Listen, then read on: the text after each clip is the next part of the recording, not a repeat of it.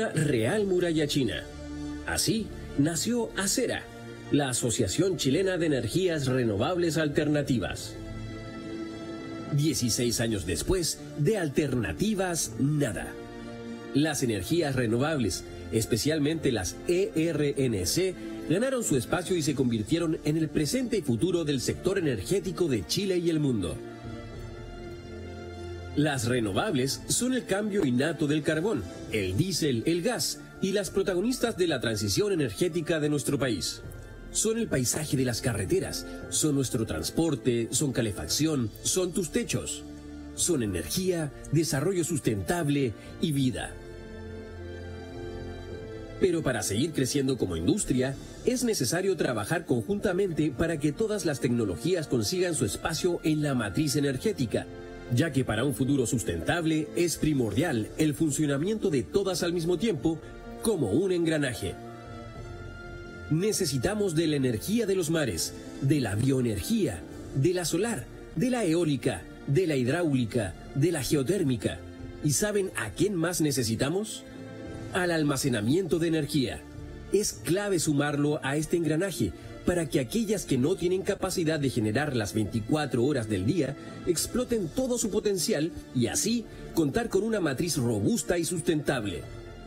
Por eso, en Acera, asumimos el nuevo desafío y lo añadimos a nuestro quehacer, convirtiéndonos en la Asociación Chilena de Energías Renovables y Almacenamiento, la asociación del sector energético con mayor representatividad. Los engranajes son un sistema mecánico sincronizado que transmite energía, donde Acera es quien empuja para que todos giren al unísono. Y es que en nuestra asociación, el sistema de engranajes es completo. No solo representamos a todas las tecnologías renovables y al almacenamiento de energía, sino que también abarcamos la cadena de valor completa de la industria. Desarrolladores de proyecto, EPCistas, generadores de gran tamaño, PMGD, la generación residencial y proveedores de todos los productos y servicios que te puedas imaginar. Las renovables ya son una realidad, pero aún queda mucho para seguir creciendo. La transición energética es urgente y el planeta no puede esperar. Debemos actuar hoy, no mañana, y desde Acera ya estamos trabajando firmemente en eso, aprovechando todo el potencial de las energías limpias porque confiamos en los esfuerzos individuales y porque creemos en un Chile 100% renovable.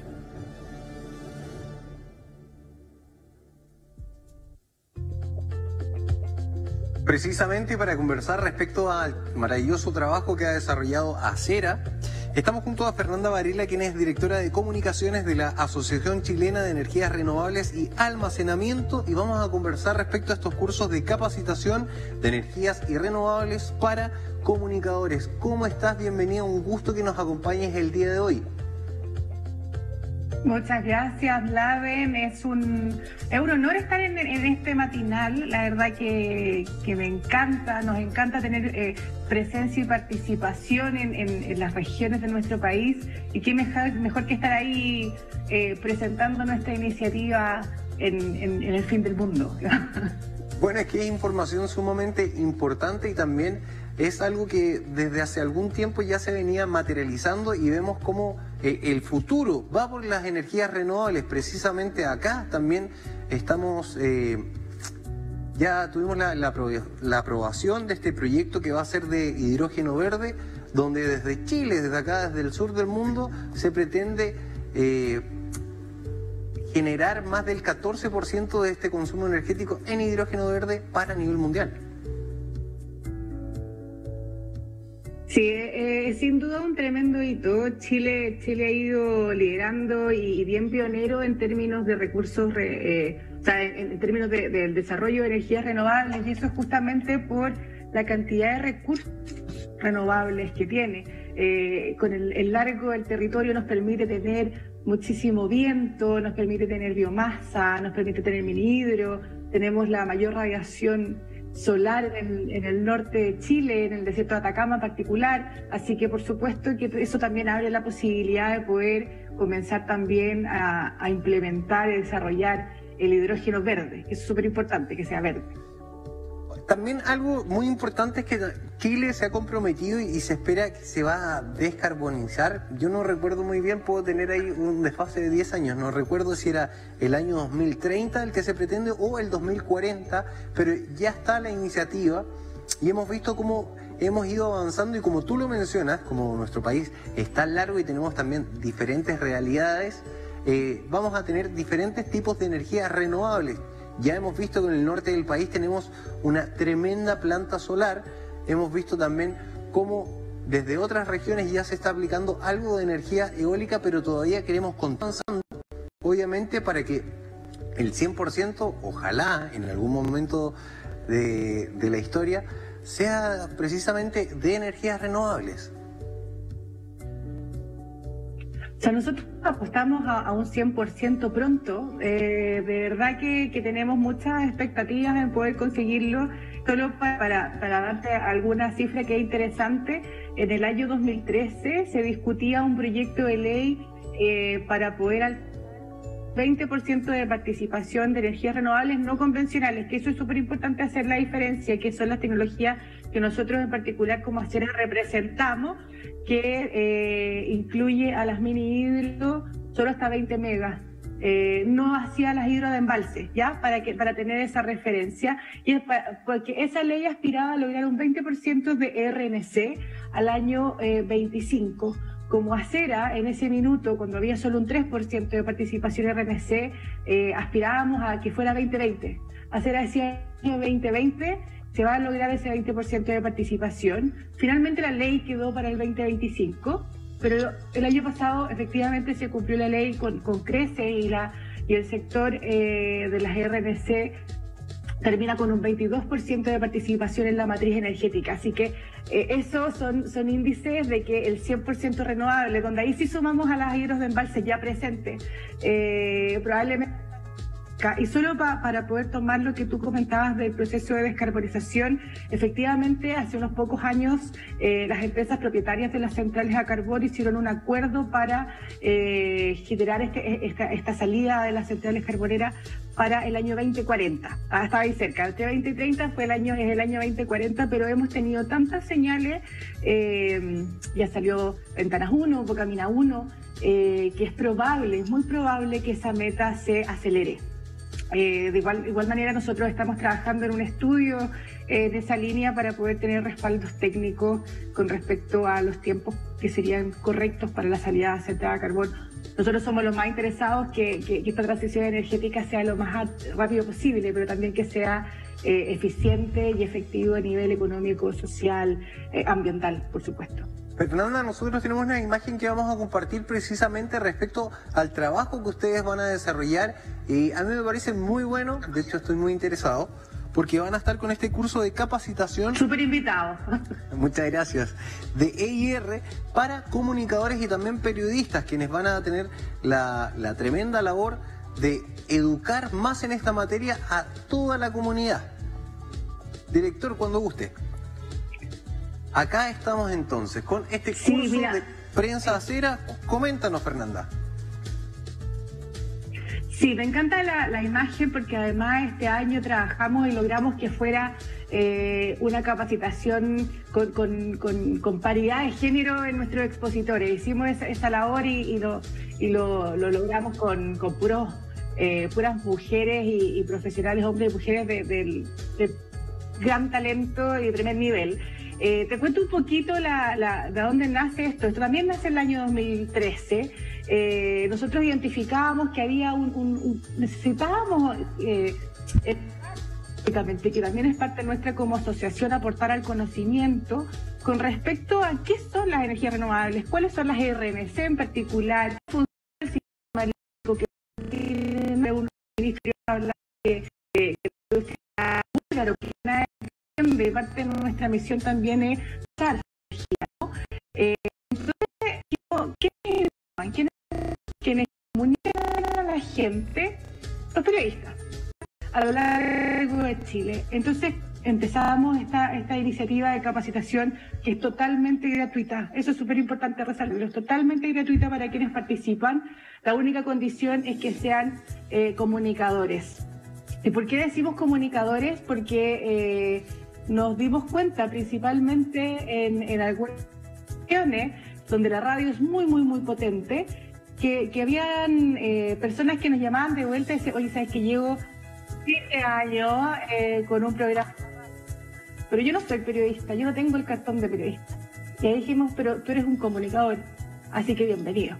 Y por eso el curso es, es un curso de energía para comunicadores y periodistas, porque también hay quienes cumplen ese error y no necesariamente tienen eh, es un curso que era presencial, eh, nos fuimos moviendo en distintas regiones del país, por distintas ciudades del país, hemos, cubierto alrededor de siete regiones, nos queda al revés, me corrijo, me quedan pendientes seis, eh, como seis o cinco regiones por cubrir, hemos, hemos ido a la gran mayoría de Chile. Y la pandemia se nos abre como una oportunidad porque dijimos, bueno, teníamos pendiente el 2020 realizar esta actividad que se nos vino el, virus encima, eh, tuvimos un proceso de adaptación, pero dijimos ya para este año.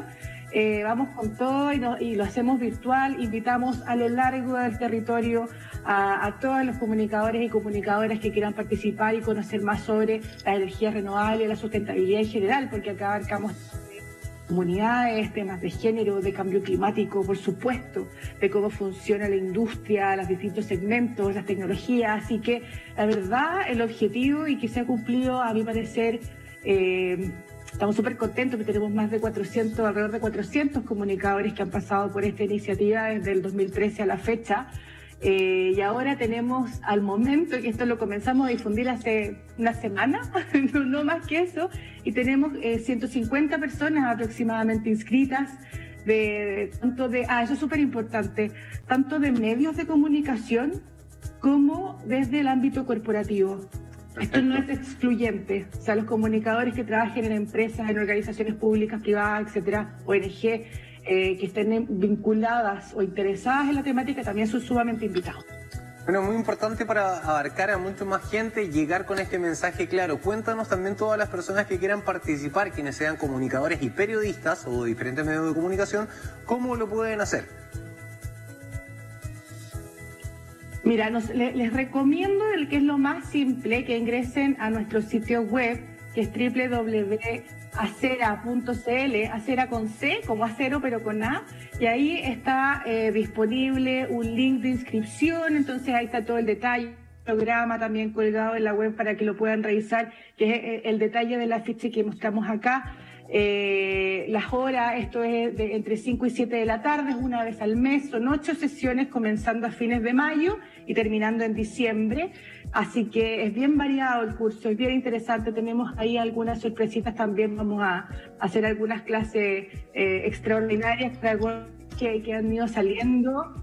Eh, que no están incluidos en el programa, pero que sin duda pueden ser muy importantes también para todos quienes participen, como es el tema de la eficiencia energética, por ejemplo. Así que tenemos varias novedades, si se fijan ahí cuando, cuando se inscriban los expositores son de súper primer nivel, son quienes están ahí donde las papas queman, así que es una súper oportunidad y, y, y, reforzar que es gratuito. Eh, no siempre se abren estos espacios eh, gratuitos para poder capacitarse y para nosotros es súper importante poder desarrollarlo y invitar a toda la gente que nos está mirando a través de este programa, porque la verdad para nosotros, la, como les decía, la participación de regiones es sumamente importante. Nuestros proyectos no están en Santiago. Los proyectos en su mayoría están en las distintas regiones de Chile. Entonces, para nosotros contar con usted es clave. Vanessa, cuéntanos también, eh, ¿cuál va a ser la, la duración de, de, cada uno de los cursos? Y lo otro muy importante, ¿a través de qué plataforma se va a realizar? La duración me preguntaste, ¿verdad? Cortó un poquito. Sí. Son, los cursos son ocho sesiones de dos horas cada uno. Eh, no más, quizás algunos van a durar un poquito menos, pero aproximadamente entre, desde las 5 a las 7 de la tarde tratamos de que fuera eh, fuera del horario laboral en la medida de lo posible. Eh, y esto comienza, como decía, 26 de mayo. Tenemos la primera sesión donde hablamos desde Acera. Nuestros expositores van a ser eh, nuestro presidente José Ignacio Escobar y Carlos Finat, que es nuestro director ejecutivo, quienes hacen esta introducción general a la industria, que es súper importante tenerla, los beneficios de la electricidad en particular y la segmentación de las tecnologías, porque se el sector energético se divide en, generación, transmisión, distribución, y ese tipo de cosas son súper importantes para poder partir de acá en adelante a lo que queda para diciembre. Así que eso, el, el, programa, como te decía, abarca también las sesión finales de hidrógeno, que es lo que tú comentabas también que estaban eh, justamente en, tu región. Eh, tenemos transmisión, distribución, como les decía, la operación del sistema. Súper interesante este, este, este guiño que nosotros les hicimos también. Hay, hay, tres, hay tres módulos que tienen distintas miradas de la transición energética. Una es justamente de energías renovables que es tan clave para poder hacerle frente al cambio climático. Tenemos relación comunitaria, que si, si no tenemos una buena relación con nuestra comunidad, en nuestro entorno, nuestro medio ambiente, tampoco es viable una transición energética justa y sostenible. Y, por supuesto, eh, una base de lo que es cambio climático y equidad de género en este proceso. Solo como dato, eh, Chile es uno de los países más vulnerables frente al cambio climático. Chile cumple con siete factores de los nueve eh, que, que, son estos expertos internacionales señalan como la vulnerabilidad frente al cambio climático. Siete de nueve. O sea, somos muy vulnerables. Y el sector energía es, por lejos, del de, eh, país, eh, con un 49% de, de GI, de gases de efecto invernadero. Entonces, si nosotros aceleramos la transición energética hacia una matriz basada en energías limpias, particularmente RNC, eh, hacemos, hacemos acciones concretas, rápidas y efectivas para poder hacerle frente al cambio climático. Por eso para nosotros también es súper importante que sea parte de esta conversación y de esta base eh, teórica. Bueno, y también a todos quienes participen de, de este curso, ¿tienen como algún tipo de certificación una vez finalizado este? Nosotros entregamos un certificado, no es CENSE ni nada por el estilo, pero queda el certificado que nosotros los hacemos como, como asociación. Y, como te digo, son, son, son varios los periodistas que han pasado por esto, así que nuestro, hemos visto el certificado en varios currículum que salió moviendo en la industria, así que queda el registro, por supuesto, y lo más importante, queda la red de quienes, de quienes son parte de esta actividad, se, se van conociendo comunicadores de, distintas ciudades eh, y, además esta versión da la posibilidad también de poder conocer periodistas de distintos países que también tenemos inscritos. Perfecto, Vanessa. Nosotros te queríamos agradecer por este contacto. Vamos a estar compartiendo también como medio de comunicación toda la información para que obviamente más comunicadores y periodistas se sumen a esta tremenda iniciativa y así entre todos vayamos eh, informando y educando a nuestra querida comunidad. Por la invitación para poder eh, contarles un poquito más de esta iniciativa que para nosotros es súper importante, súper relevante y, les dejo la invitación abierta a, todas y todos los periodistas, comunicadores eh, que estén interesados en conocer más sobre las energías renovables eh, y el sector energía y la sustentabilidad en particular. Súper bienvenido. estamos acá para poder aportarles su conocimiento a esta red de comunicadores que es súper, súper, súper rica. Bueno, y también cuéntanos un poquitito, porque nosotros también con esta noticia de, antes de finalizar la entrevista, con esta noticia de que vamos a, ya, ya se aprobó eh, el tema del hidrógeno verde acá en nuestra región, ¿por qué también a nosotros nos llama mucho la atención? Porque se proyecta que se creen más de 300.000 empleos, es decir, casi el doble de la población que habita precisamente en la región de Magallanes. Entonces, un tremendo impacto el que va a generar este laboralmente hablando, porque eh, tenemos que estar preparados para recibir toda esta carga de personas. Obviamente estas proyecciones se hacen eh, con miras hacia el futuro, eh, pero obviamente hay que tener toda la, información respecto a este tema en particular. Y también respecto al hidrógeno, hidrógeno verde, ¿dentro de qué traería?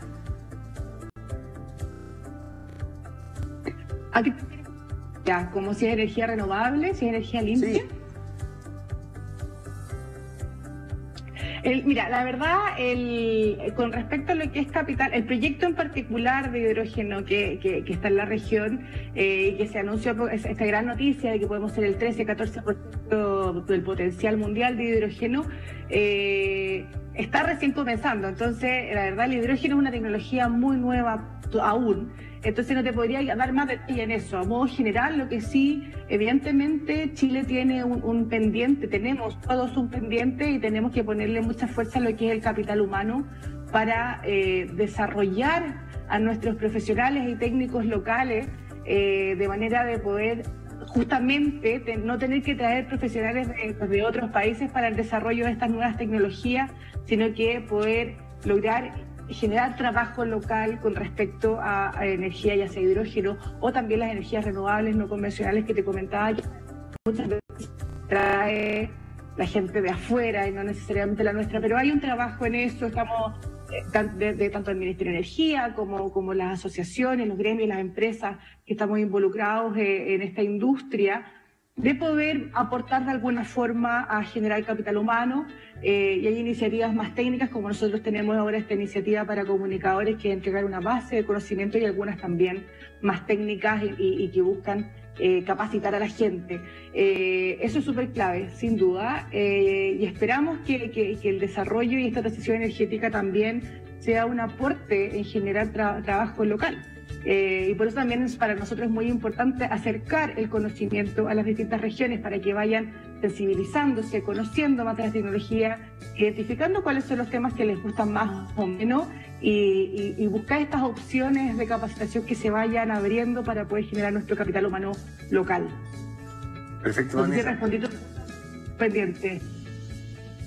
Oye, nosotros te queríamos agradecer mucho por, compartir este tema y nuevamente extendemos la, invitación a todos los periodistas que tenemos, no solamente que trabajan en medios de comunicaciones, sino que están en un medio más bien corporativo, porque sabemos que también los periodistas están dentro de diferentes empresas que se sumen a esta iniciativa que es completamente gratis.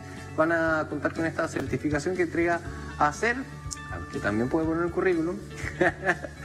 Así que agradecerles a ustedes por el maravilloso trabajo que llevan adelante con este mensaje claro respecto a las energías renovables. Muchas gracias y todos y todas muy, muy invitados. Que tengan un buen día, ustedes ya. También que tengan una muy linda jornada. Y quiero hacer una aclaración de, de concluir la entrevista, porque acá como no tenemos otro horario, eh, no partiría de eso de las 17 horas, sino que a las 18 horas, hora local. De, 18 a 20 en el caso de usted. De 18 a 20. Ya pues Vanessa, te mando un fuerte abrazo, espero que tengas una muy linda jornada y nuevamente también felicitar a, todo el equipo de ACER. Muchas gracias, cuídense mucho y que tengan un buen día. Hasta luego. El día de hoy conversando junto a Fernanda Varela, quien era director de comunicación de la Asociación Chilena de Energía Renovable y Almacenamiento,